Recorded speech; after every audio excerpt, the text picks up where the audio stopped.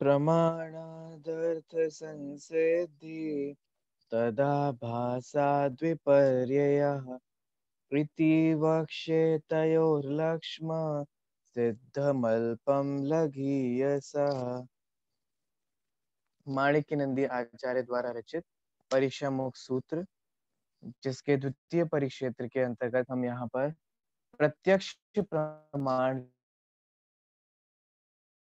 की चर्चा कर रहे हैं और होता है प्रत्यक्ष का क्या स्वरूप है, विशुद्ध परिश्रम क्या तात्पर्य है, ये समझने के बाद साम व्यावहारिक प्रत्यक्ष, जो प्रत्यक्ष का पहला भेद है, उसको हमने अभी तक यहाँ समझा है, ठीक है?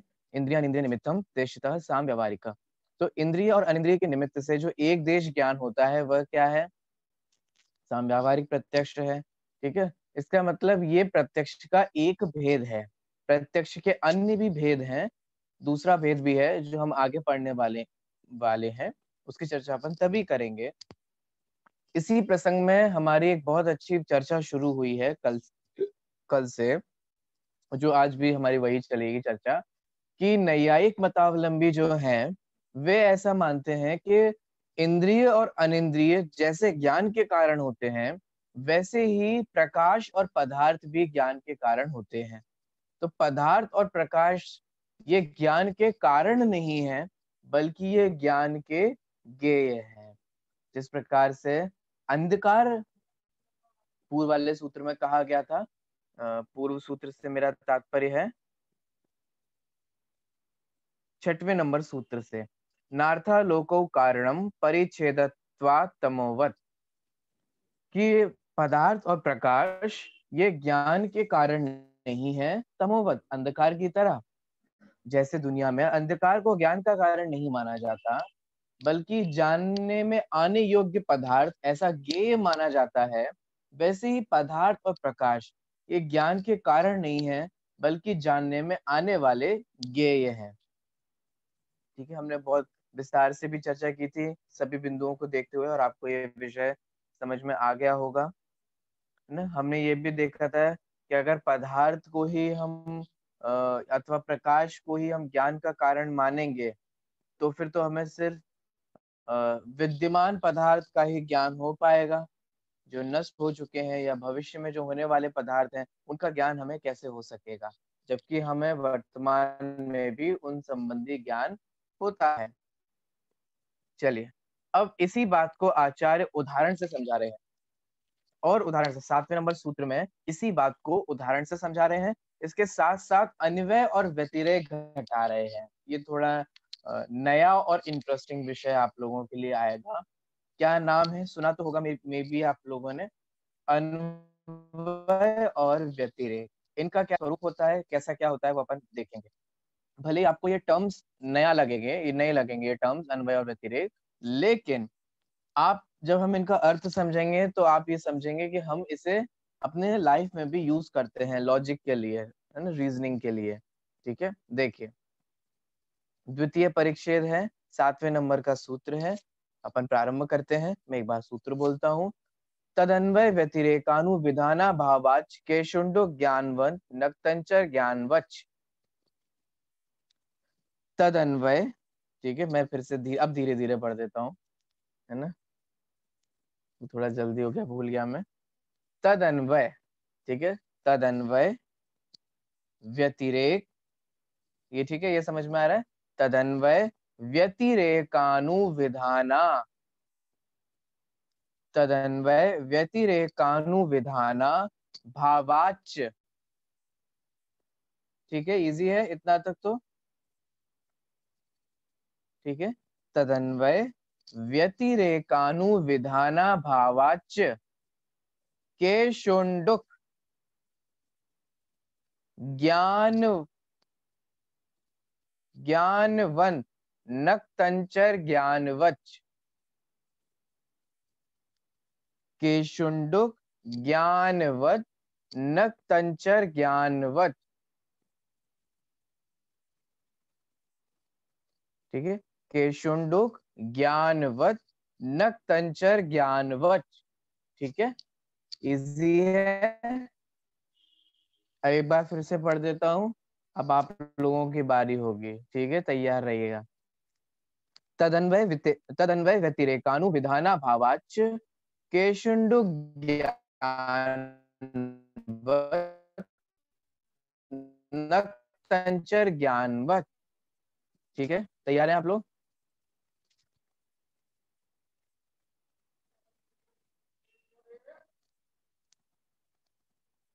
मौसम जी आप पढ़ेंगे?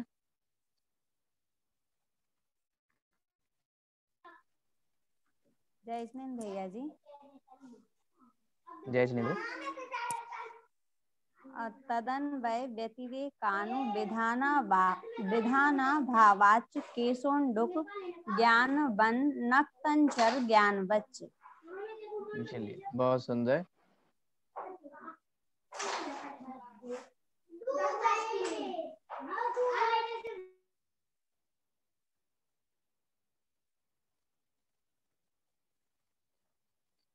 लता जी आप पढ़ेंगे?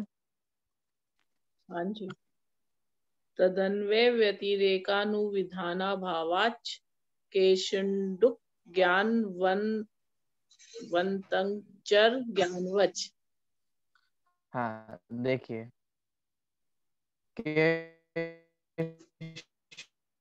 ज्ञानवत मैंने संधि ज्ञान और फिर नक्तंचर है। तो ता का हो गया ना तो दो ना हो गए।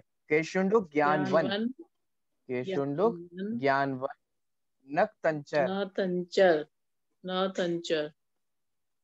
नक तंचर नक तंचर हाँ आसान अर्थ तो बहुत इजी है। बस वर्ड ही कठिन है। नक तंचर ज्ञानवच चलिए एक और अपन किसी से पढ़वाते हैं। नक तंचर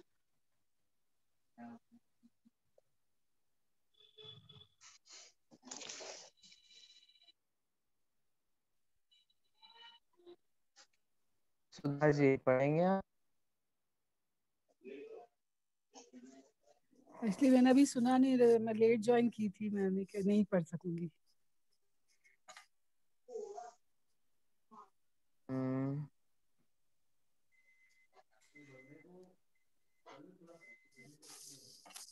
हाँ एम एस जी आप पढ़िए। हाँ जी। तदन्वय व्यतिरेकानुविधाना अवाच के सुंडक ज्ञानवत नक्तंचर ज्ञानवच देखिए ठीक है। ऐसे ज्ञान वन भी पढ़ सकते हैं। एक्चुअल में तो ज्ञान वन ही लिखा है वहाँ दो ना है। डबल ना लिखा है लेकिन आपने ता बोला था इसलिए मैंने हाँ, ता बोला। ना का ता आपने बोला कि कन्वर्ट हो जाता है इसलिए ता बोला। हाँ, बिल्कुल बिल्कुल। तो आप लोगों को दोनों विवक्षाएँ ख्याल में होनी चाहिए ठीक है? वो ज्ञान जैसे अपन पढ़ते हैं ना प्रदीप वत यहाँ पे भी हाँ, वही हाँ। कहा जा रहा है ज्ञान वत तो ये उसका वत का ही है। लेकिन जब हम इसे सूत्र में कन्वर्ट करते हैं तो वहाँ पर ये त वर्ण का जो पहला अक्षर त है वो त हाँ। त न वर्ण का अंतिम अक्षर बन जाता है। तो ये सब संस्कृत के कुछ रूल्स होते हैं उसके अनुसार ऐसा होता है ठीक है? चलिए अब हमने जो सूत्र पढ़ लिया आप लोग सब लोग प्रयास कर लीजिएगा पढ़ने का। अब हम इसमें जो मिली जुली सरकार है, उसको अलग अलग कर देते हैं। ठीक है? क्या क्या मिले मिले शब्द हैं इसमें? सबसे पहला है तदन्वय। तदन्वय में तत् प्लस अन्वय। तत् प्लस अन्वय व्यतिरेक अलग हो गया। व्यतिरेकानु है ना, उसमें से अनुविधान। अभावात। च। ये अलग अलग निकले। तत् अन्वय व्यतिरेक अनुविधान अभावात च। अगला केशुंडुक केश और उंडुक। ज्ञानवत। नक्तंचर। ज्ञानवत च। ये अलग अलग हो जाएँगे। एक बार देखिए फिर से देख लिए। तत्, अन्वय, व्यतिरेक, अनुविधान, अभावात, च। ठीक है? किश, उंडुक, ज्ञानवत, नक्तंचर, ज्ञानवत, च। ठीक है? समझ में आ गया? चलिए, नहीं भी आए तो भी चलेगा। क्योंकि हमें अर्थ समझना हमें व्याकरण नहीं समझना है। हमें तो सूत्र का मूल वस्तु है। ये भी अच्छी बातें हैं, ठीक है? तो तो अच्छा ही है, आदर्श वही है। लेकिन संस्कृत का बेस नहीं होने के कारण अगर तकलीफ़ भी आए तो सिर्फ़ इस कारण से हम छोड़ देना चाहिए। जा रहा है पढ़ना पड़ता है, सूत्र का अर्थ देखना पड़ता है, अर्थ लगाना पड़ता है, उसको पढ़ना पड़ता है। इस वजह से हम उसे विषय वस्तु से वंचित नहीं होना चाहिए, ठीक है? हमें तो विषय वस्तु प्रिय है, चाहे वो संस्कृत में हो, चाहे वो प्राकृत में हो, चाहे वो हिंदी में हो, इंग्लिश में हो, मराठी में हो डजेंट मैटर चलिए अब यहाँ बात क्या चलने वाली है? वो पहले समझ लें। प्रकरण तो पदार्थ और प्रकाश से रिलेटेड चल रहा है, ये तो मैंने आपको बता ही दिया। अब यहाँ ये समझाने वाले वाले हैं कि पदार्थ नहीं हो, फिर भी ज्ञान हो जाता है। और अंधकार हो, फिर भी ज्ञान हो जाता है। पदार्थ की अनुपस्थिति और अंधकार की उपस्थिति ज्ञान में बाधक नहीं है। अगर पदार्थ और प्रकाश से ही ज्ञान होता हो तो जो पदार्थ नहीं है तो ज्ञान होना नहीं होना चाहिए। लेकिन यहाँ कह रहे हैं कि पदार्थ नहीं हो, फिर भी ज्ञान हो जाता है। प्लस अंधकार हो तो भी ज्ञान हो जाता है। वो ज्ञान के होने में बाधा कारण नहीं होता है। और इसी को किससे समझाने वाले हैं? अन्वय और व्यतिरेक दृष्टांत के माध्यम से। ठीक है? शुरू करें। बेस समझ में आ गया हम क्या समझने वाले हैं? देखिए, अर्थ पढ़ते हैं। तत् अन्वय व्यतिरेक अनुविधान अभावात। तत् माने यहाँ पदार्थ और प्रकाश का अन्वय और व्यतिरेक का जो अनुविधान है, अन्वय और व्यतिरेक का जो विधान है, उसके अभाव होने से समझ में आ रहा है क्या कहा जा रहा है? अन्वय और व्यतिरेक के अनुविधान का अभाव होने से, फिर जो केशुंडुक ज्ञानवत नक्तंचर ज्ञानवत, ये जो कहा गया, ये एग्ज़ाम्पल है। केशुंडुक उड़ते हुए बाल, ठीक है? बहुत उपमाएँ और महिमाएँ गाई जाती हैं उड़ते हुए बालों की, या उड़ते हुए बालों का। केश उंडुक केश उंडुक माने उड़ते हुए बालों में उंडुक उंडुक होता है मच्छर। केश, बाल, उंडुक माने क्या होता है? मच्छर। आप लोग सोच रहे हैं, कहाँ बाल, कहाँ मच्छर, क्या क्या हो रहा है? अभी सब आएगा समझ में। धीरे धीरे अभी पहले शब्द समझ लीजिए, है ना? इतना मज़ा आएगा कि आपको लगेगा वहाँ क्या एग्ज़ाम्पल दिया है आचार्य ने। लेकिन अभी पहले शब्द अर्थ समझ लो। केश, उंडुक में, केश अलग हो गए, बाल हो गए, उंडुक हो गया, मच्छर। ठीक है? नक्तंचर नक्तंचर बोलते हैं जो रात्रि में चलने वाले हैं। मनुष्य नहीं, बल्कि पशु आदि, पक्षी आदि। ठीक है? तो यहाँ पशु पक्षियों को लिया जाएगा। मनुष्यों को नहीं लिया जाएगा। ठीक है? समझ में आ रहा है? अब देखो क्या कहना चाह रहे हैं। तत्व अन्वय व्यतिरेक अनुविधान अभावात। उसमें अन्वय और व्यतिरेक का विधान का अभाव है। किसमें किसमें किसमें उसमें किसमें पदार्थ और प्रकाश ज्ञान के कारण है। इस बात में अन्वय और व्यतिरेक के अनुविधान का अभाव है। इसका मतलब यहाँ अन्वय और व्यतिरेक घटित नहीं हो पा रहा है। कैसे नहीं हो पा रहा है? क्या नहीं हो पा रहा है? के शुंडुक ज्ञानवत, नक्तंचर ज्ञानवत। जैसे के के ज्ञान की तरह और नक्तंचर के ज्ञान की तरह। अब देखो, ठीक है? थोड़ा बहुत समझ में आया? अब हम आगे बढ़ते हैं। सबसे पहले समझते हैं, अन्वय और व्यतिरेक क्या होता है? ठीक है? तैयार हैं आप लोग? अन्वय किसे कहते हैं? कारण के होने पर कार्य का होना वह अन्वय कहलाता है। और कारण के नहीं होने पर कार्य का नहीं होना वह व्यतिरेक कहलाता है। समझ में आया? क्या कहा?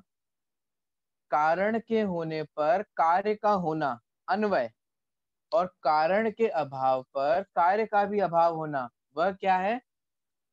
व्यतिरेक अन्वय पॉजिटिव है। ठीक है? क्योंकि है है की बात चल रही है और व्यतिरेक नेगेटिव है। नहीं होने पर नहीं होना। सिंपली होने पर होना अन्वय, नहीं होने पर नहीं होना व्यतिरेक। क्या? कारण कार्य। समझ में आ रहा है? थोड़ा बहुत ख्याल में अभी मैं एग्ज़ाम्पल भी दूँगा, क्योंकि पहले हम समझ लें। जब कारण होगा तो कार्य होगा ही होगा तो वह अन्वय कहलाएगा। और कारण नहीं होगा तो कार्य भी नहीं होगा तो वह व्यतिरेक कहलाएगा। जैसे, ज्ञान होगा, है ना? ज्ञान होगा तो हमें जानने रूप क्रिया या कार्य दिखाई देगा कि नहीं दिखाई देगा? ज्ञान के होने पर जानना होगा कि नहीं होगा? होगा। जहाँ जहाँ ज्ञान होगा, वहाँ वहाँ जानना होगा। हाँ होगा। तो जहाँ जहाँ ज्ञान है, वहाँ वहाँ जानना है। ज्ञान के होने पर जानना होना, वह क्या है? अन्वय। और पर जानना हो सकता है क्या? बताइए। ज्ञान के नहीं होने पर नहीं जानना। वह क्या कहलाता है? व्यतिरेक कहलाता है। कुछ अन्वय व्यतिरेक में अर्थ क्या में आया? कारण के होने पर कार्य का होना, यह अन्वय है, और कारण के ना होने पर कार्य का भी ना होना, वह क्या है? व्यतिरेक है। ठीक है? अब जैसे कारण कार्य में और और और घटा लीजिए, ऐसे भी अपन घटा सकते हैं। जब भी सम्यक दर्शन होगा या मिथ्या दर्शन होगा। मिथ्या दर्शन के होने पर मिथ्यात्व का होना और मिथ्या दर्शन के नहीं होने पर मिथ्यात्व भाव नहीं होना। अन्य व्यतिरेक घटित होता है। कर्मों के साथ जीव के जो परिणामों का निमित्त नैमित्तिक संबंध होता है ना, उसमें अन्वय व्यतिरेक घटित होता है। कारण है और कार्य भी है। और कारण नहीं है तो कार्य भी नहीं है। ठीक है? ऐसे बहुत सारी चीज़ों पर घटा सकते हैं। आप लोग को ख्याल में आया ना? कठिन तो नहीं पड़ रहा है? ऐसा तो नहीं है कि समझ में ही नहीं आ रहा हो। तो अन्वय व्यतिरिक तो यह होता है कि अगर कारण है तो कार्य भी होना चाहिए और कारण नहीं है तो कार्य भी नहीं होना चाहिए। तो यहाँ ये बात क्यों आ गई? क्योंकि यहाँ भी आप देखिए हम लोग कारण की बात कर रहे हैं। और किसके कारण की बात कर रहे हैं? ज्ञान के कारण की बात कर रहे हैं। ज्ञान के कारण को इंद्रिय और अनिंद्रिय को तो कहा, लेकिन पदार्थ और प्रकाश को नहीं कहा, ठीक है? क्यों नहीं कहा? क्योंकि आचार्य कह रहे हैं, इसमें अन्वय और व्यतिरेक का अनुविधान का अभाव है। इसका मतलब क्या? कि यहाँ अन्वय और व्यतिरेक घटित नहीं हो रहा है। और अन्वय और व्यतिरेक क्या होता है? कि अगर कारण है तो कार्य होना ही चाहिए, और कारण नहीं है तो कार्य भी नहीं होना चाहिए। इसका मतलब पदार्थ है तो ज्ञान होना ही होना चाहिए। और पदार्थ नहीं हो तो फिर ज्ञान भी नहीं होना चाहिए। ये अन्वय व्यतिरय घटाना आया इसमें, जल्दी तो नहीं हो रहा है। मज़ा करना, ये अन्वय व्यतिरय हर जगह घटाना। अपन छोटे छोटे जैसे बेवकूफ़ी भरे कार्य करते रहते हैं बेवकूफ़ी भरे, कहूँगा मैं, कुछ भी, कहीं से भी कुछ भी घटाते रहेंगे। है ना? छोटे छोटे बच्चों को कुछ भी पहनाते रहेंगे कारण कार्य संबंध घटित और अन्य व्यतिरिक घटित होता है। वो आपने उसे गले में हाय पहना दी, गले में उसको माला पहना दी, काला वो पहना दिया और जाने क्या इतनी टीम टाम डरावना बच्चा पैदा कर दिया आपने। मैं डरावना क्यों बोल रहा हूँ? क्योंकि क्योंकि आपका बच्चा कभी भगवान महावीर नहीं बन पाएगा। माता त्रिशला ने अपने बच्चे को ये हाय, काला ताबीज गंडा ताबीज और फलाना ढिमका ये सब नहीं पहनाया था। इसीलिए उनका बेटा वीर बना। याद है वो कहानी बचपन वाली? वो एक देव सर्प की पर्याय में आकर के बच्चों को बच्चे जब खेल रहे थे तो वो डराने की कोशिश करता है। और भगवान महावीर तुरंत उस वश में कर लेते हैं, पकड़ लेते हैं। ऐसा ऐसा बच्चा चाहिए कि वो डरने वाला चाहिए, मम्मी मम्मी, बचाओ बचाओ, ऐसा वाला चाहिए। बोलो। अब वो कैसे होगा? आप शुरू से ही उसको डरा रहे हो। कारण कार्य हम लोग घटाते ही नहीं। ये हमारी सबसे बड़ी दिक्कत है। बच्चों के पास फलाना आवाज़ नहीं आ रही आप लोगों को? चलिए सुधा जी शायद हो सकता है कि आपके नेटवर्क की प्रॉब्लम हो। हाँ तो मैं तो आपसे ये बात कर रहा था कि छोटे छोटे बच्चों को आ, उनके पास चाकू रख देंगे माचिस रख देंगे फलाना रख देंगे वो डरे नहीं। ना उसको खूब ताबीज पहना देंगे खूब मालाएँ पहना देंगे ताकि वो डरे नहीं उसको बुरा उस, उसका कुछ अहित ना हो जाए। क्या कारण कार्य घटित होता है? बताइए। आप घटाओ ना थोड़ा सोचो ना तो फिर आप ये कैसे चला रहे हो? नहीं नहीं भैया चलता है सब कह रहे हमारी सासू माँ ने भी करवाया था और हमारे ननिहाल में भी मैंने मायके में भी होता है यहाँ यहाँ भी होता है ऐसे ही होता है। आपको पता है हमारे घर में किसी ने भी हम लोगों को कोई भी ऐसा ताबीज नहीं पहनाया। आज तक हम लोगों ने कभी बचपन में भी नहीं पहनाया गया था। है ना? आप लोगों ने भी, आप में से भी कई जो समझदार लोग होंगे, उन्होंने भी अपने बच्चों को नहीं पहनाया होगा। अरे, हम तो समझदार हैं, नहीं पहना रहे, छोड़ो। विदेश में तो कितने अच्छे बच्चे पैदा होते हैं गोरे गोरे होते कि नहीं होते हैं? इंटेलिजेंट भी होते हैं, समझदार भी होते हैं, सुंदर भी होते हैं। सब होते हैं। वहाँ तो नहीं होता ना ये सब टीम टाम तो उनके बच्चे ऐसे ही रह जाते हैं। उन, उनको यही होता रहता है। हम लोग कारण कार्य घटित नहीं करते।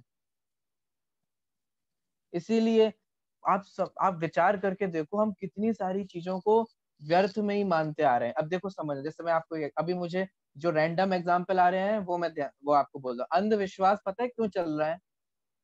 क्योंकि व्यक्ति कारण कार्य घटित नहीं करता। एक, जैसे फॉर एग्ज़ाम्पल एक अंधविश्वास ये है, या ऐसे माना जाता है, अब मैंने तो देखा है, मुझे पता नहीं, हमारे घर में तो कोई नहीं होता है ऐसा, लेकिन मूवी में देखा था एक एक दंगल मूवी आई थी, उसमें ऐसा दिखाया गया था कि उनको लड़का चाहिए था, छोरा चाहिए था, और उनके लड़कियाँ लड़कियाँ हो रही थी तो उसको कोई सजेस्ट करता है कि आप सुबह उठ करके, नहा धो करके, और फलाना ढिमका कर करके, एक गाय को ऐसा ये पता नहीं क्या क्या, वो गुड़ के साथ ये खिलाओ, वो खिलाओ तो क्या हो जाएगा? लड़का हो जाएगा, ठीक है? और हमारी बहन जी ने मान लिया। हालाँकि वो करने के बाद भी उनके हुआ नहीं था। क्यों नहीं हुआ था? क्योंकि कारण कार्य नहीं है। वो क्या संबंध क्या है? वो कार्य है बच्चा पैदा करना, ठीक है? इसका कारण क्या है? इसका कारण गाय कैसे हो सकती है? और उसको गुड़ खिलाना ये बच्चा पैदा का कारण कैसे हो सकता आप खुद सोचो ना, क्या लॉजिक घटित हो रहा है? कोई कारण कार्य ही नहीं है। समझ में आ रहा है? आपको उस ख्याल में आ पा रहा है, मैं क्या कहने की कोशिश कर रहा हूँ? अब ये चल रहे हैं, ऐसे खूब अंधविश्वास चल रहे हैं। यहाँ चले जाओ तो ऐसा हो जाएगा, वहाँ चले जाओ तो ऐसा हो जाएगा। क्या क्या संबंध है, बताओ? वहाँ चादर चढ़ा जाओ तो ऐसा हो जाएगा, महावीर जी चले जाओ तो ऐसा हो जाएगा, तिजारा जी चले जाओ तो ऐसा हो जाएगा। अब कारण कार्य कैसे घटित होगा, बताओ? कारण कार्य घटित करना सीखिए। अगर फॉर एग्ज़ाम्पल अब समझना, अगर गाय को गुड़ आदि खिलाना ही पुत्र उत्पत्ति का कारण हो तो जब जब खिलाया जाए, तब तक पुत्र होना चाहिए, और जब जब नहीं खिलाया जाए, तब तक पुत्र नहीं होना चाहिए। तो आप लोग के जिनके भी बच्चे होंगे, लड़के होंगे लड़के होंगे तो उन्होंने भी क्या ये सब खिलाया है? तब तब हुए चलो, आप लोगों ने तो इंडिया में खिला भी लिया। वो फॉरेन में तो लड़के होते ही नहीं होंगे किसी के अमेरिका में तो हो ही नहीं रहे होंगे। वहाँ तो कोई भी ये ड्रामा नहीं किया जा रहा है। इसका मतलब क्या हुआ कि अन्य व्यतिरय घटित नहीं हुआ। सुनना आप लोग एटलीस्ट मैं मैं ये चाहता हूँ कि दस पंद्रह लोग ही समझ जाए। अगर कारण कार्य ये घटित अन्वय व्यतिरय घटित नहीं होता तो वो सच्चा कारण नहीं है। इस बात को अपने गांठ बाँध के देख लो। इसका मत, देखो आप समझो। समझो क्या कहना चाह रहा हूँ। मैं थोड़ा टाइम ले लूँ तो चलेगा, लेकिन मैं ये आपको अन्वय व्यतिरेक घटा रहा हूँ। आप लोग प्रैक्टिकल लाइफ में कैसे घटा करके बच सकते हो। भूतों के खूब, ये भूत वाला भी बहुत चलता है। है ना? बहुत, व्यंतर बाधाएँ होना, यहाँ चले जाना, वहाँ चले जाना व्यंतरों से डरो, फलाना करो, ढिमका करो। खूब खूब खूब अंधविश्वास चल रहे हैं। अब विचार करो, सोचो, अन्वय व्यतिरेक किसके साथ घटित होता है और किसके साथ घटित नहीं होता? मैं आपको एक छोटी सी बात कहता हूँ। टोडामस जी के मोक्षमा प्रकाशक में, छठे अधिकार में व्यंतर आदि के लिए हमें क्या करना चाहिए, कैसा श्रद्धान रखना चाहिए, वो वहाँ दिया है। आपको पता है टोडामस जी ने क्या कहा? टोडामस जी ये कहते हैं, भाई, व्यंतर आदि को पूजना, इनकी उपासना करना, इनको अपना आराध्य मानना, ये तो ग्रहित मिथ्यात्व ठीक है, सबसे पहली बात। जब पिताजी जीवित थे, तब तुम उन्हें खाना भी नहीं देते थे। अब तुम उनकी पूजा कर रहे हो। ये क्या है? कितना कितना होता है। हमें एकदम व्यक्ति के जाते ही उसकी एकदम महिमा आ जाती है। जब वही व्यक्ति हमारे घर में होता है तो कुछ नहीं। उपेक्षित ही, उपेक्षा ही करते रहते हैं। और उसके जाते ही, फिर उसको पूजना, उसकी उपासना करना, उसका वो करना। अब किसी व्यक्ति ने अपने जीवन में पाप ही पाप किए मर करके कहाँ जाएँगे? फिर वो खाना खिलाना, उनको, ये सब खूब ड्रामा मैंने देखे है ना, इसलिए बोल रहा हूँ। अन्य जगहों पे बहुत बहुत होते हैं। फिर उनको साल में उस जिस महीने वो मरे हैं, उस महीने उनको खाना खिलाना। तो उस डेट को उनको साल भर में वो खाना खिलाना ये होना, फिर वो कौआ आता है, वो खा जाता है। अब इसमें ये सारी लॉजिक क्या, कहाँ घटित होते हैं, बताओ?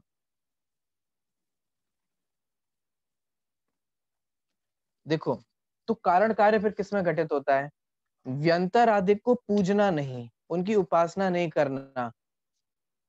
अगर वे परेशान भी करते हैं तो कारण वे नहीं है। कारण है आपके पाप कर्म का उदय, जो कि अन्वय और व्यतिरेक के साथ घटित होता है। अगर पाप का उदय है तो कोई दुखी करेगा और पाप का उदय नहीं है तो कोई दुखी नहीं करेगा। ये क्या हो गया? ये क्या हो गया? ये हमने क्या घटाया अभी? ये अन्वय व्यतिरेक घटाया। पाप होने पर दुख होना अन्वय। पाप के उदय नहीं होने पर दुख नहीं होना, ये क्या है? व्यतिरेक।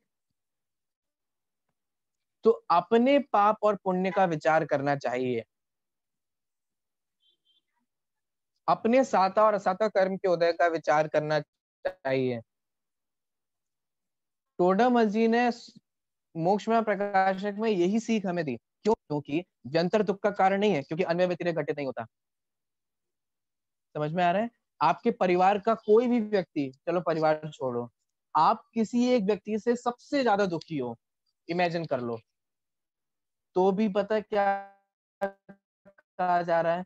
कि वो व्यक्ति दुख का कारण नहीं है। क्यों? क्योंकि वो व्यक्ति के साथ अन्य व्यतिरेक घटित नहीं होता। होता है? घटाओ।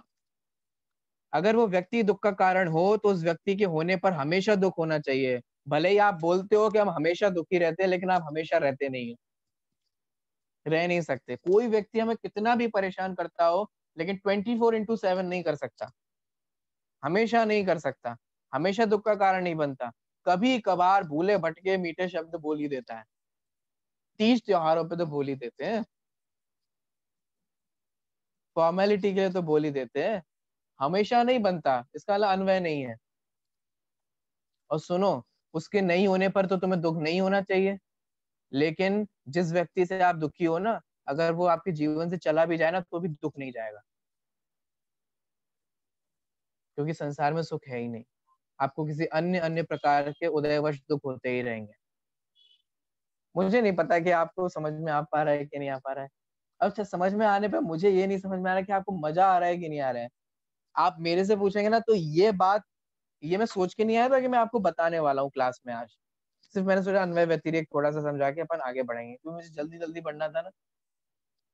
लेकिन ये कितनी अच्छी बात है, हम सोचो इससे मिथ्यात्व से बच सकते हैं अगर हम अन्वय व्यतिरिक घटाना सीख जाए। क्यों? क्योंकि हम सच्चे कार्य का सच्चा कारण क्या है, ये जानना चाहिए हमें। ख्याल में आ रहा है? समझ में आ रहा है? सच्चे कारण की पहचान नहीं होती तो फिर हम भ्रमवश बने रहते हैं। किस, देखो, पढ़ाई अच्छे नंबर्स लाने का कारण क्या है? मोटे मोटे रूप से हम संसार में कहते हैं पढ़ाई करना, ठीक है? और उपचार, और वैसे विचार करें तो आपके उस प्रकार के कर्म का उदय होना, जिससे आपको उस प्रकार का फील हो, साता का उदय होना, पुण्य का उदय होना। अब मान लीजिए कोई एक बच्चा है जिसके बहुत अच्छे नंबर आते हैं और वो बादाम खाता है। अब हम क्या कर रहे हैं? अच्छा ये बादाम खाता है, तभी उसके नाइन्टी परसेंट आते हैं। छोटू, कल से तुम भी सुबह बादाम की रोटी और सब्ज़ी, बादाम का हलवा, बादाम का दूध, बादाम का ये आपने शुरू कर दिया। हालाँकि वो बादाम पचाने की सामर्थ्य भी तो होनी चाहिए उसमें। और आप खूब बादाम खिला रहे हो उसको। आप फ़र्स्ट आप तो नाइनटी आ जाएँगे ना उसके। आ जाएँगे कि नहीं आ जाएँगे, बताओ। क्यों नहीं आएँगे? क्योंकि नंबर्स लाने का वो सच्चा कारण नहीं है, और यहाँ कारण कार्य घटित नहीं हो रहा, अन्वय व्यतिरेक घटित नहीं होता। क्यों? क्योंकि अगर 90 परसेंट नंबर लाना बादाम खाने से होता हो तो बादाम खाने से अन्य व्यतिरेक घटाओ घटाओ। तो बादाम लाने से 90 परसेंट आने चाहिए, और बादाम नहीं खाने से 90 परसेंट नहीं आने चाहिए। जबकि ऐसा नहीं होता। ना अन्वय घटित हो रहा है, ना व्यतिरेक घटित हो रहा है। फ्रूट बादाम से 90 परसेंट लाने का कोई ऐसा संबंध नहीं। बिहार में जो कितने गरीबी में लोग इतने, आप पढ़ते हो ना, रिक्शे वाले की लड़की आई टॉपर बनी, सब्ज़ी वाले का लड़का ये बन गया, इन लोग के पास इतना अफोर्ड कर पाते हैं ये लोग बादाम खाएँ? हम अपने बच्चों को बादाम खिला खिला के भी ढंग की नौकरी नहीं लगवा पाते। अच्छे से सेटल नहीं कर मतलब एक कॉमन बात कह रहे कोई व्यक्ति खिला खिला के भी कॉमनली उसको सेटल नहीं कर पाता या उस पोस्ट तक नहीं पहुँच पाता। तो आपको समझ में आ रहा है मैं क्या कहने की कोशिश कर रहा हूँ? जब भी आप कोई भी एक मान्यता बनाओ तो उस मान्यता को बनाने से पहले उसमें अन्वय व्यतिरेक ज़रूर घटित कर लीजिएगा। कारण अगर उसका पहचान, क्योंकि यहाँ पदार्थ और प्रकाश का ज्ञान के साथ कारण घटित नहीं हो रहा। अन्वय व्यतिरेक घटित नहीं हो रहा, ठीक है? अब देखो एग्ज़ाम्पल क्या दे रहे हैं आचार्य? केशुंडुक केश का मतलब बाल और उंडुक का मतलब क्या बताया था? जिनसे हम परेशान हैं। मच्छर। केश और उंडुक। अब उदाहरण समझिए। हवा चल रही है और आपके बाल उड़ रहे हैं। आपके बाल उड़ रहे हैं तो आपको ऐसा भ्रम हो गया कि शायद कोई मच्छर है। हुआ कि नहीं हुआ कभी लाइफ में? बालों के यहाँ आ जाने पर कभी ऐसा लगता है ना कि कोई चीटी आ गई? या कोई बालों के उड़ने में ऐसा लगता है शायद कोई मच्छर है ऐसे ऐसे हटाते हैं? हुआ? मुझे तो मुझे मेरी लाइफ में हुआ। आपकी लाइफ में भी कभी ना कभी आपको ऐसा हुआ ही होगा, एक्सपीरियंस? हर दो चार दिनों में एक बार। अब समझो, अन्य व्यतिरिक घटाओ। अगर पदार्थ ज्ञान का कारण हो तो पदार्थ तो यहाँ क्या है? केश। और ज्ञान किसका हो रहा है? मच्छर का। तो अन्य व्यतिरिक कहाँ घटित हुआ? पदार्थ तो है केश, और ज्ञान किसका हो रहा है? मच्छर का, चीटी का, कोई जीव का।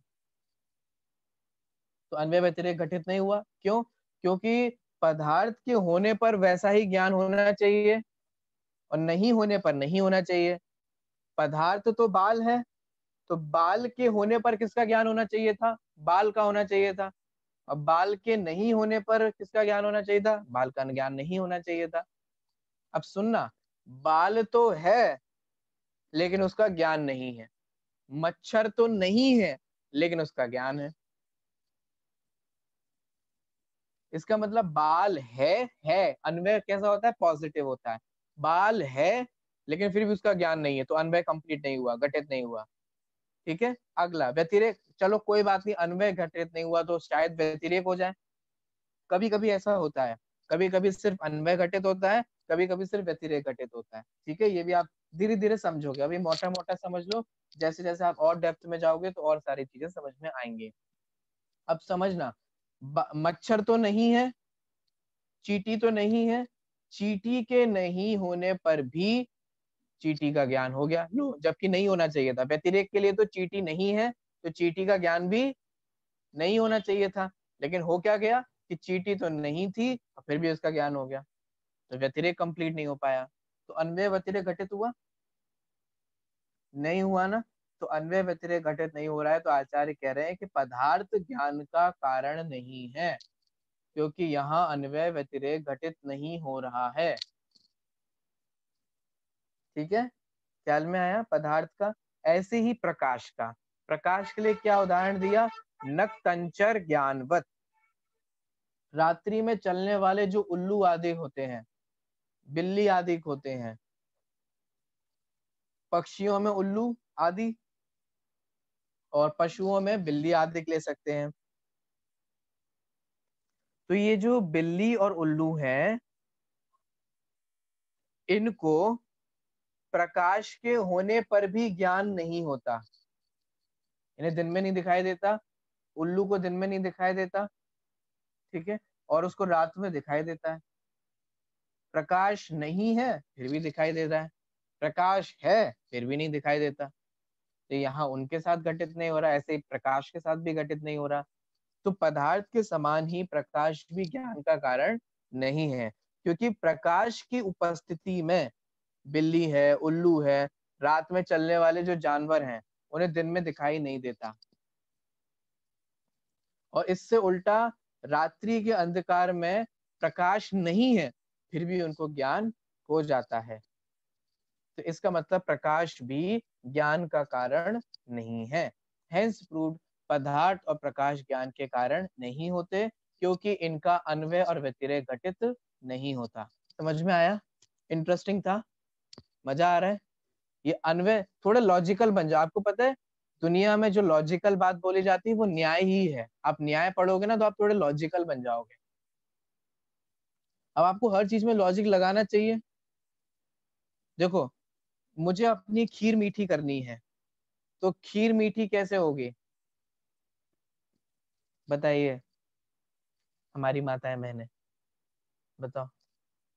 आप सब लोग खीर बनाते हो ना? शक्कर से होगी कि नहीं होगी? क्योंकि शक्कर के साथ क्या घटित होता है? अन्वय व्यतिरेक घटित होता है।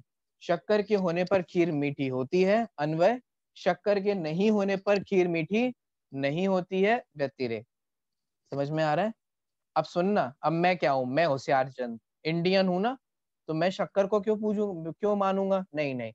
हे काली सॉरी, किसी का नाम नहीं लेते। हे भगवान, मेरी शक्कर मीठी कर दीजिए। प्लीज़ मैं आपका उपासक हूँ। मेरी शक्कर वो शक्कर नहीं, खीर मीठी कर दीजिए। खीर मीठी कर दीजिए। भगवान, कारण? है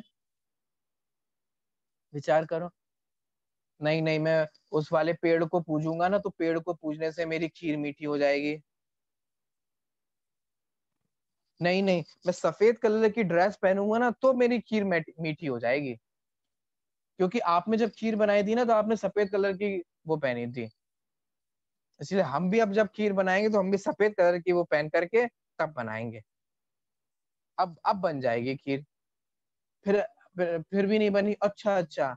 आपने ना जब खीर बना रहे थे ना, तब आपने बिंदी नहीं लगाई थी। तो हो सकता है कि शायद इस वजह से खीर मीठी हो अब हम भी जब खीर बनाएँगे तो बिंदी हटा देंगे और फिर खीर बनाएँगे। अब मीठी हो जाएगी। जैसे ये सब हम पागलों जैसे, ऐसा लग रहा है कि बिल्कुल ही हम गलत जा रहे हैं, गलत ट्रैक पे जा रहे हैं, ये तो कुछ शक्कर, मैंने खीर में मिठासपन का इसका कोई संबंध ही नहीं है। क्योंकि अन्य व्यतिरिक घटित नहीं हो रहा। भाई, ऐसे ही विचार करो, हमारा कल्याण कहाँ होगा? हमारा कल्याण कैसे होगा? और हम कल्याण के लिए क्या क्या कर रहे हैं? हम इस वाले देवता को पूजेंगे तो हमारा कल्याण हो जाएगा। हम ऐसा करेंगे तो हमारे घर में सुख शांति आ जाएगी। हम घर में वो एक वो टांग देंगे तो घर में सुख शांति आ जाएगी। कि अन्य व्यतिरिक घटित होता है इसके साथ। हम वो गंडा ताबीज पहन लेंगे तो हमें बिल्कुल भी बीमार नहीं होंगे। वो ताबीज पहन करके हम बिल्कुल भी बीमार नहीं होंगे। बोलो, अन्य व्यतिरिक घटित होता है? ताबीज के साथ? आप खूब ताबीज पहना पहना के भी बच्चा बीमार हो जाता है। हो सकता है कि वो ताबीज पहनाया उसमें इन्फेक्शन हो रहा हो। खूब धागा पहना पहना के, ताबीज पहना पहना के, मिथ्यात्व का पोषण कर, करके भी वो बीमार हो रहा है। और कितने ही बच्चे जो ये सब नहीं पहनते और फिर भी स्वस्थ हैं। तो आपको वो समझ में आ पा रहा है मैं क्या कह रहा हूँ, क्या कहना चाह रहा हूँ। आप बस इतना समझ लो तो कितना फ्री फोकट का ग्रहित मिथ्यात्व ऐसे चला जाए। जब हम लोगों को समझाते हैं ना कि ये मत पहनो, वो मत पहनो, ये मत हो इससे क्या होने वाला है? अरे नहीं नहीं, सब मानते हैं, हमारे घर में माने आ रहे हैं, सब क्या उल्लू हैं क्या? अब क्या क्या क्या कह दूँ मैं? एक्चुअल में तो उल्लू ही है। लेकिन सब बड़े बड़े उम्र से बड़े बड़े होते हैं। क्योंकि आप अन्वय व्यतिरेक नहीं घटा, आप लॉजिकल नहीं हो ना, इसलिए आप मूर्खी ही हो। आपको लॉजिक लगाना चाहिए। वहाँ अन्वय व्यतिरेक घटित नहीं हो रहा है और आप फिर भी लगाए जा रहे हो। बच्चा बीमा आप, आप देखो कितने सारे आपने नेहरू जी की पुस्तक है डिस्कवरी ऑफ़ इंडिया नाम सुना होगा आपने। जवाहरलाल नेहरू ने एक पुस्तक लिखी है। उसमें इंडियन लोगों का एक वर्णन किया गया है। जो कि हमने विद्वानों के ही मुख से सुने हैं ये एग्ज़ाम्पल उसमें इंडिया का क्या है? इंडिया किसे कहते हैं? इंडिया वो देश है जहाँ एक माँ के अगर आठों बच्चे किसी एक पर्टिकुलर बीमारी से वो क्या हो जाते हैं? माता, वो क्या होता है? वो हो जाते हैं ना चिकन पॉक्स टाइप के या ऐसा कुछ, जिन्हें माता बोलते हैं, माता आ गई, ये हो गए, वो हो गए। ना फिर उसे झड़वाते हैं, फलाना वलाना, वो सब करते हैं ना। अभी भी गाँव में बहुत होता है। तो वहाँ ये कहा गया कि अगर एक माँ के आठों बच्चों को, मान लो वो वो हो गया क्या बोलते हैं, जो भी बोलते हैं ना चिकन पॉक्स होता है, माता आ गई, वो हो गया, ठीक है? और उसने झड़वाया तो भी उसके बच्चे मर गए। लेकिन अगर उसका नौवा बच्चा होगा ना, और उसको ये फिर से यही बीमारी हो गई तो भी वो झड़वा नहीं जाएगी। इतना भयंकर ग्रहित मिथ्यात्व है हमारे इंडिया में।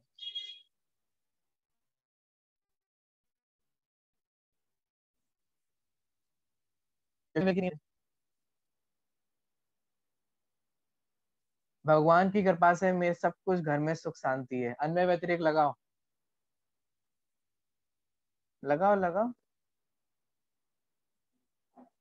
अन्य व्यतिरिक, लगाओ। नहीं लगेगा, पता है? झूठा है ये कथन कि भगवान की कृपा से शांति है। साहब, हमारे घर में तो पारस बाबा ने शांति कर रखी है। पारस बाबा की कृपा है। कितने बाबा आ रहे हैं? नहीं नहीं मतलब कुछ भी। शांतिनाथ भगवान की कृपा से शांतिनाथ भगवान ने पूरे घर में शांति कर दी। अन्वय व्यतिरिक लगाओ भैया, लगाओ। लगाओ, लगेगा? शांतिनाथ भगवान से शांति होती है, अन्वय, और उनके नहीं करने से नहीं होती है। व्यतिरेक घटित होगा? बोलो बोलो। लग पाएगा? तो गलत हो गया ना? इसका मतलब शांति के कारण आज शांतिनाथ भगवान नहीं है। आप, मैं तो कह रहा हूँ, आप हर चीज़ में अगर ये अन्वय व्यतिरेक लगाने लग जाओ ना तो ज़िंदगी, मेरा ये न्याय पढ़ाना मज़ा आ जाएगा। हर चीज़ में लगाओ आप, किसी भी कार्य का आप एक्चुअल कारण ढूंढो भाई एक्चुअल कारण, वास्तविक कारण ढूंढो। किसी को भी कारण कह देना अच्छी बात नहीं होती। ज्ञान का एक्चुअल कारण भी अगर हम इस कॉन्टेक्स्ट में बात करें तो वह इंद्रिय और अनिंद्रिय है। पदार्थ और प्रकाश उस ज्ञान के वास्तविक कारण नहीं है। कारण लगते तो हैं, लगते तो हैं शुरू शुरू में लगते थोड़े थोड़े लग भी रहे थे। ठीक है? हो सकता है कि हमें पदार्थ और प्रकाश ज्ञान के कारण लगे, लेकिन अन्वय व्यतिरेक से सिद्ध नहीं हो रहे हैं।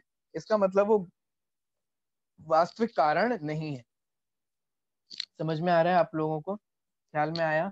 समय तो आपका हो गया है। आज भी एक ही सूत्र हो पाया। कल हम थोड़ा जल्दी बढ़ेंगे, है ना? तो खैर, होता तो अपनी योग्यता के अनुसार ही है।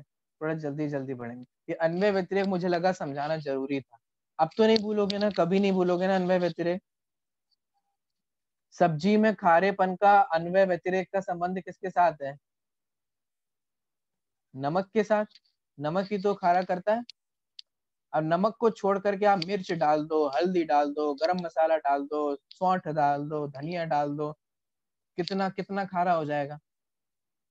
नहीं होगा ना, क्योंकि असली वास्तविक कारण नमक है। नमक के साथ अन्वय व्यतिरेक घटित होता है, अन्य किसी के साथ नहीं घटित होगा। तो अन्वय और व्यतिरेक जो घटित होता है, वो कार्य के अनुसार घटित होते हैं। कार्य क्या है? उसके फिर वो कारण की खोज की जाएगी, ठीक है? और फिर उसमें अन्वय व्यतिरेक लगेगा, नहीं लगेगा, कैसे क्या होगा, वो समझा जाएगा। चलिए, मैंने तो प्रयास किया आप लोगों को समझाने का, ठीक है? आप लोगों को ये तो पता होगा कि हमें ये ताबीज नहीं पहनना चाहिए, ये नहीं करना चाहिए, ये सब नहीं मानना चाहिए। लेकिन क्यों नहीं मानना चाहिए, उसका न्याय से भी एक लॉजिकली आंसर मिल गया आप लोगों को। ठीक है? ग्रहित मिथ्यात्व होता है, वो तो आप सब जानते ही हैं, सबको पता ही है।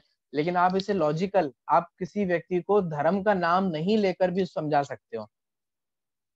आप मत कहो कि जैन धर्म में उसको ग्रहित मिथ्यात्व कहा गया है। आप ये कहो कि भाई, अगर ये सच में ऐसा होता हो तो इसके होने पर ऐसा होना चाहिए और नहीं होने पर नहीं होना चाहिए। अन्य व्यतिरिक घटित करा के बता दो। अगर उसमें थोड़ी सी भी लॉजिकल दिमाग होगा ना तो वो एक्सेप्ट कर लेगा। बाकी तो उम्मीद कम ही करिएगा, है ना, दूसरों से। हमारे यहाँ लॉजिक की बहुत कमी है, हम कम लॉजिक लगाते हैं। चलिए, ठीक है? समझ में आ गया? समय हो गया, आप लोगों को कोई प्रश्न तो पूछ लीजिएगा। शेष चर्चा अपन कल करेंगे।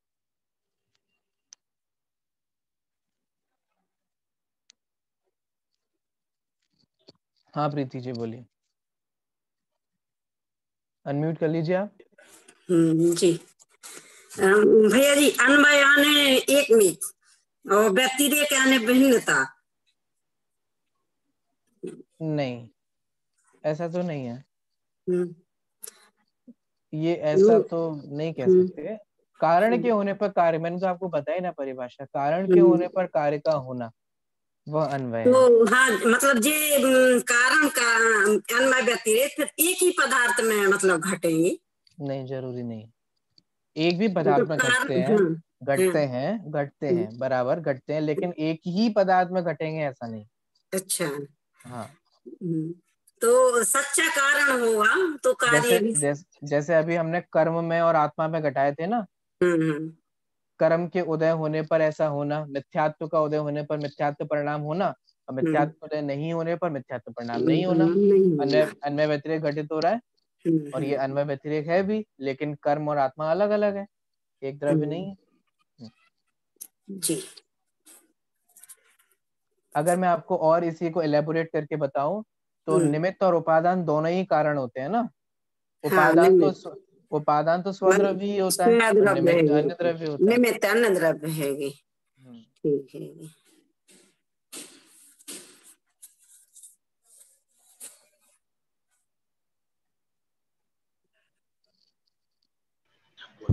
हाँ तो सच्चा सच्चा कारण होने पर भी सच्चा कार्य अ, होगा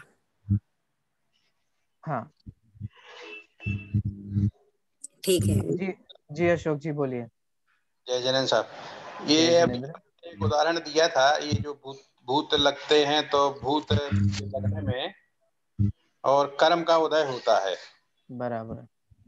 तो यदि कर्म के उदय में कोई जीव दुखी ना हो हम्म। तो उस समय वो अन्वय थोड़ी बनेगा पंडित जी कर्म का उदय। नहीं नहीं देखो आप इसे समझो। हम यहाँ पे उस कार्य के कारण की खोज कर रहे हैं। कारण एक्चुअल कारण क्या है? वहाँ हम दुखी होना ये होना ये कोई अन, ये इसका कोई संबंध नहीं है। जैसे देखो सिंपल सी बात है जैसे कोई बाधा हुई कोई पीड़ा हुई ठीक है? वो व्यंतर के माध्यम से की गई हो चाहे आपके माध्यम से की गई हो। अगर मेरा ही कोई कलीग मेरा ही कोई मित्र मेरे प्रति कोई बुरे कार्य कर रहा है तो इसमें एक्चुअल कारण क्या है? पूरा सिद्धांत ये कहता है कि कर्म का उदय है सामने वाला व्यक्ति नहीं है। होता है कि नहीं होता है? राम सीता जी ने रामचंद्र जी को दोष दिया कि अपने कर्म के उदय का विचार किया? कर्म के उदय कर्म के उदय का विचार किया ना? हम्म, रामचंद्र जी पर हम्म। तो दोष नहीं दिया। क्यों? क्योंकि रामचंद्र जी सुख और दुख के कारण नहीं है क्योंकि उनके साथ अन्य व्यतिरेक घटित नहीं हो रहा।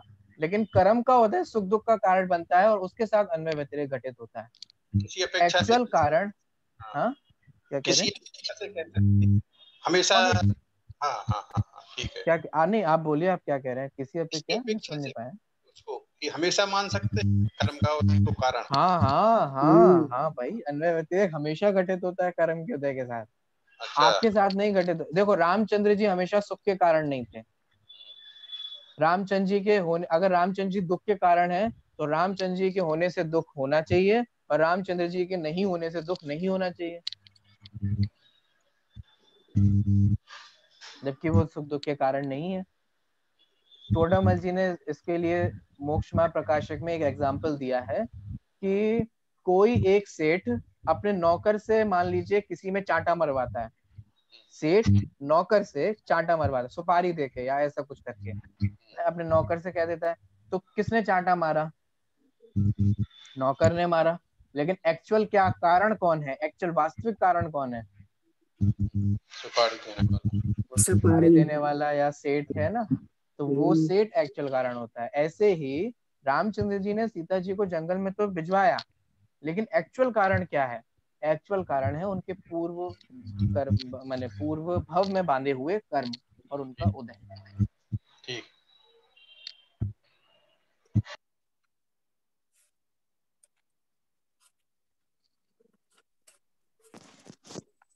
जय जिनेन्द्र भैया जी। जय जिनेन्द्र। वो पंचास्तिकाय ग्रंथ में गुणों को अन्वय कहा और पर्याय को व्यतिरेक तो वो फिर किस अपेक्षा से कहा गया वहाँ? हाँ वहाँ पर जो गुणों ये प्रवचन सार में भी ऐसा विषय आया है मुझे जो ख्याल आ रहा है वहाँ पर अन्वय व्यतिरेक अलग दृष्टि से घटाया गया है। आप एक बार वो प्रकरण पढ़िएगा और देखिएगा अगर कुछ समझ में नहीं आता है या व्हाट्सएप पे आप डालेंगे तो हम चर्चा कर लेंगे ठीक है? अभी मुझे एग्जैक्ट वहाँ वो वहाँ का वो प्रकरण ख्याल नहीं आ रहा है।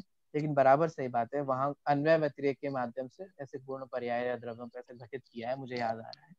तो प्रकरण एक बार देखेंगे फिर फिर ही मैं कुछ कह पाऊँगा। और भैया जी इसका मतलब न्याय ग्रंथ पढ़ने का प्रयोजन क्या है? ये भी एक क्वेश्चन था। ये तो इस इसके ऊपर बहुत अच्छा आदरणीय वीर सागर जी ने एक लेख लिखे हैं।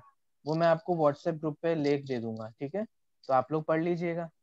बहुत अच्छे अच्छे लेख हैं उनके। न्याय की, न्याय ज्ञान की क्यों आवश्यकता है, क्यों ज़रूरी है? बहुत एक एक दो दो घंटे के लेक्चर हैं ये अपने आप में वो मैं आपको व्हाट्सएप पे ग्रुप पे दे दूँगा ठीक है?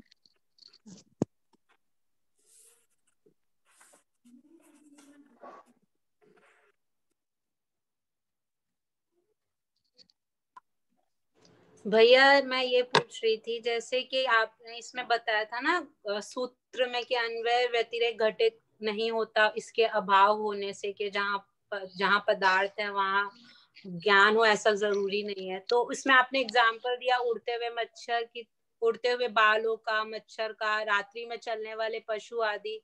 फिर लिखा है ज्ञानवत, ज्ञान की तरह। तो इसमें ज्ञान की तरह कैसे इस सूत्र में एडजस्ट होगा? जैसे, उड़ते हुए बालों में मच्छर के ज्ञान की तरह उसी प्रकार से रात्रि में विचरण करने वाले जीवों के ज्ञान की तरह। ऐसे। ठीक है। चलिए सारे प्रश्न हो गए हैं। अपन अपनी कक्षा समाप्त करते हैं। बोलिए महावीर भगवान की जय।